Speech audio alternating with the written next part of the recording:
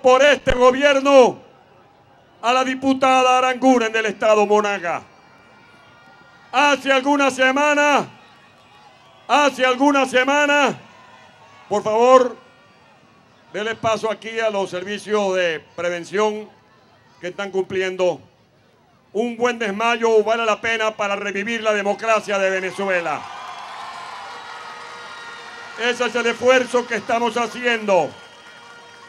Todo el sacrificio.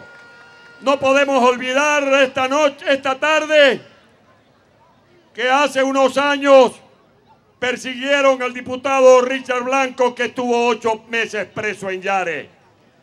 Que están en el exilio Carlos Ortega, Manuel Rosales, Oscar Pérez y que hace algunas semanas iniciaron un linchamiento moral contra el compañero Oscar López, a quien saludo afectuosamente desde la ciudad de Caracas.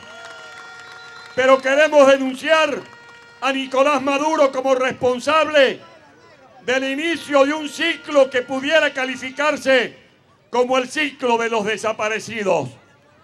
Porque hoy en la madrugada desaparecieron Alejandro Silva. Hoy puede ser Alejandro Silva Mañana puede ser cualquiera de nosotros. Este gobierno cree que va a intimidar al pueblo de Venezuela. Pues bien sepanlo, Venezuela no se rinde. Y aquí estamos dando la cara por Caracas y por nuestro país. Maduro dice que tiene siete meses en el poder. Él lleva 15 años enchufado en el poder. Pero admitamos que son siete meses que parecen siete siglos.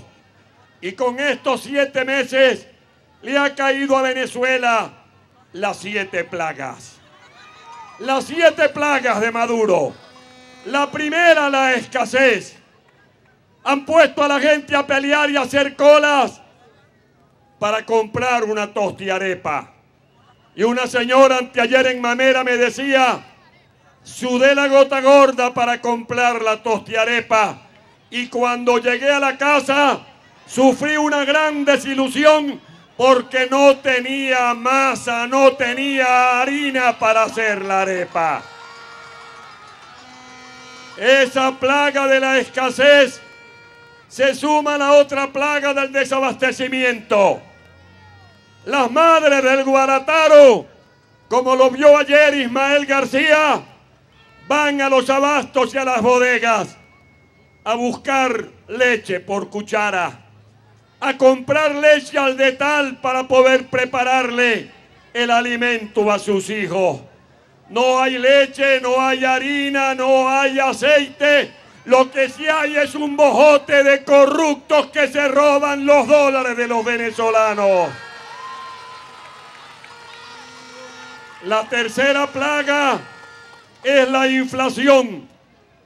La inflación que el gobierno quiere combatir comprando aviones que traen de Rusia.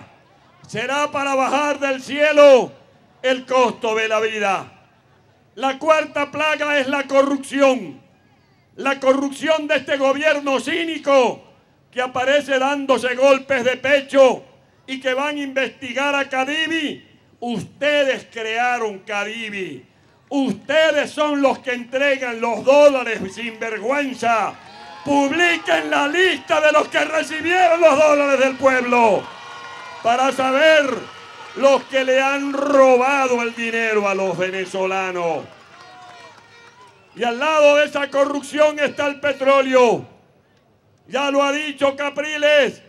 Queremos que el petróleo de Venezuela, en vez de irse a Cuba o a Nicaragua, el petróleo de Venezuela suba cerro y que en los barrios y urbanizaciones haya agua, transporte, hospitales, que es lo que ha hecho este gobierno al malbaratar nuestros recursos. La otra plaga es la inseguridad de la gente que muere a manos del AMPA común. El secuestro, la extorsión, el atraco es moneda corriente en Venezuela. La otra plaga es la mentira. El presidente más mentiroso de la historia de Venezuela se llama Nicolás Maduro.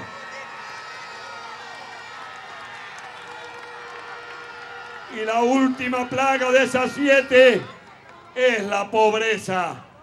Un país inmensamente rico padeciendo pobreza.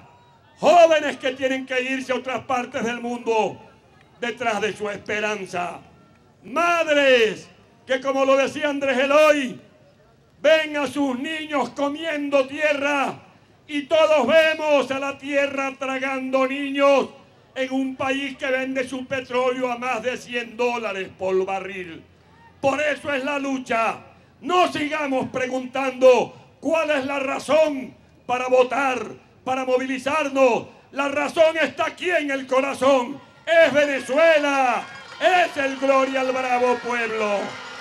Y por último, por último, a todos los compañeros de la unidad, a todos los que luchamos, tenemos que orientar a este pueblo.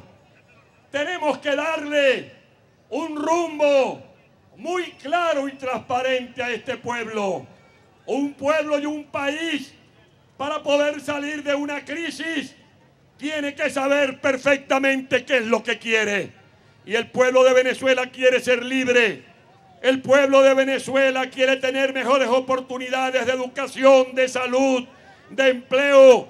Como lo decía Enrique en su campaña, que la gente gane bien, que la gente pueda tener un salario para poder comer completo y que haya un gobierno que se encargue de garantizar la seguridad de los venezolanos para poder dormir con paz.